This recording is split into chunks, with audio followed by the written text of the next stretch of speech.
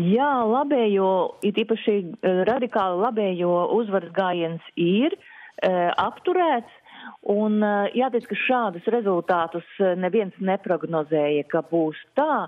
Arī daudzi eksperti atzīst, ka ir kļūdījušies savā novērtējumā jo tas, kas ir noticis, kreisie spēki kopā ar centristiem, ar Makrona partiju un viņa sabiedrotajiem izvērta vakar tiešām tādu taktisko balsojumu, aicinot cilvēkus balsot vienalga par jebko, tikai ne par labējiem, par Marinas Lepēnas partiju. Un tas arī daudz viet ir nostrādājis jo uh, daudzās vietās apmēram 200 uh, kandidāti savu kandidatūru pirms vakardienas vēlēšanām atsauca, lai cilvēki, lai nesašķeltu šo te uh, vēlētāju balsis, kas ir pret Marīnu Lepēnu un viņas labējiem.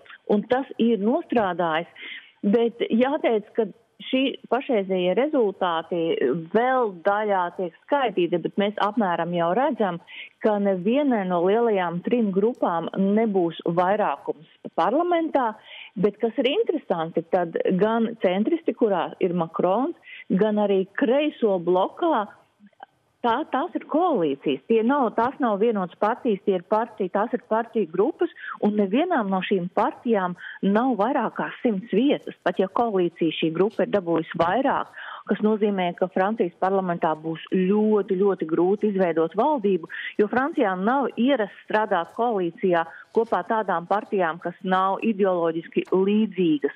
Un šeit tad vajadzētu strādāt centristiem kopā ar kreisajiem Makrona partijai kopā ar, uh, es pateiktu, tur arī radikāli kreisie, jo šajā kreisajā blokā, kas izveidojās īsi pirms šīm ārkārtas vēlēšanām, ir gan zaļie, gan sociālisti, gan komunisti, gan pat trotskisti, kas varbūt mums ir tāds neierasts, e, neierasts nosaukums, uh, bet tie ir galēji kreisie.